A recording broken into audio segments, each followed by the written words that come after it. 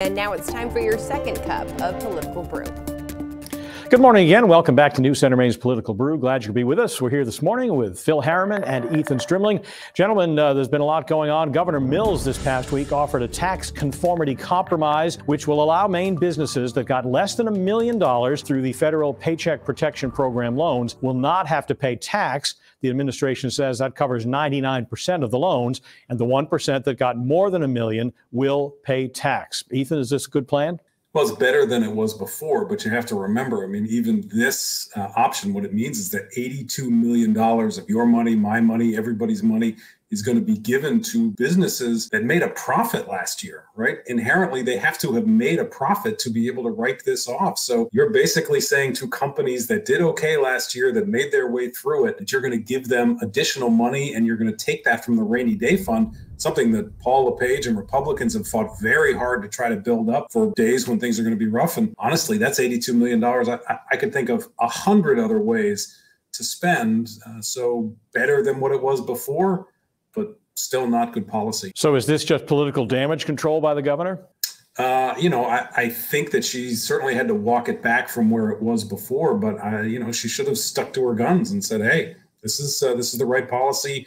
We should be. If you made a profit last year, I'm not going to give you an extra double dip." What do you think, Phil? This is one of those instances where the decision is whether or not Maine tax code will conform with federal tax code, and thus we've had this this controversy, and the governor could have stuck to her position to say, no, uh, we're going to impose the Maine uh, income tax on that loan forgiveness, even though Washington chose uh, to leave it tax free. She could have stuck to that position and let the legislature debate it out. But I, I sense that she got so much pushback from legislators on both sides of the aisle. She put this compromise out there. And let's let's be honest, there are, as Ethan says, a hundred ways to spend more money, and the legislature is really good at doing that. And it's their responsibility to balance this budget. And this is one of the tools that she's given them uh, to work with.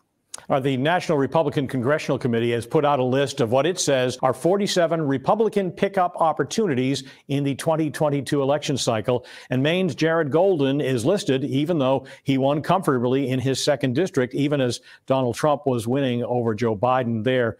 Uh, Ethan, what do you make of this? Why, why this particular? Why is he on that list? Look, he's got to make sure that he uh, stays close to his constituents. There will be a backlash against the incumbent president.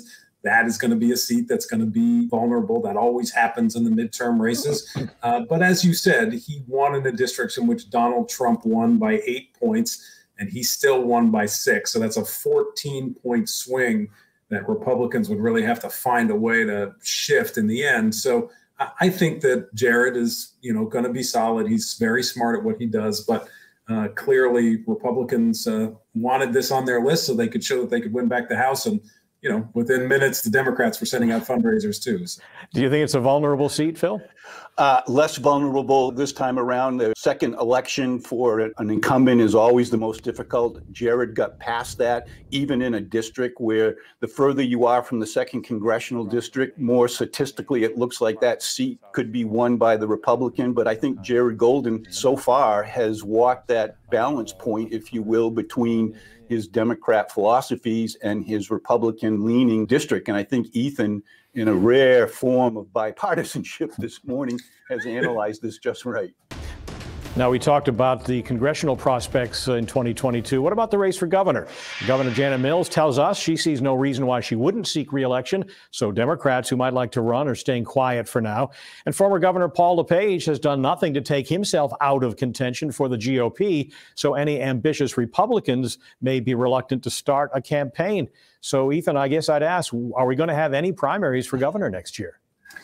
Uh, I expect we'll have some on the Republican side. I don't know if LePage will clear out the field. There may be some if he does decide to run. I mean, you know, the weird thing is that neither one of them has fully declared. Janet Mills, you know, she just has not raised any money. She doesn't have to be publicly doing a lot, but I hope that behind the scenes, she's doing a lot more than seems to be uh, than what we seem to see at this point because she needs to get prepared. Because you're right, Democrats don't want to lose this seat. So we want our nominee to be very strong and very ready for this. Uh, LePage, I don't know. I, I think he's a little more talk, a little more bluster. So I think in the end he doesn't run, and some other Republicans get in. What do you make of it, Phil? Well, I, I agree with Ethan on his comment about uh, former Governor Paul LePage. If I'm Governor LePage, I am going to keep a low profile while the, the Republican backlash, if you will, from the insurrection in, in Washington drifts off the front page.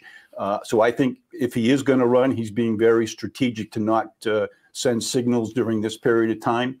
And I'm also aware of uh, potential Republican candidates who are preparing that if he does indeed, as Ethan suspects, not run, uh, there will be a viable field of Republican candidates for the nomination. Could be pretty crowded. We'll see what Right. happens. Uh, let's wrap it up. Uh, in with the uh, impeachment trial aside, who are the winners and losers in politics this week, Phil?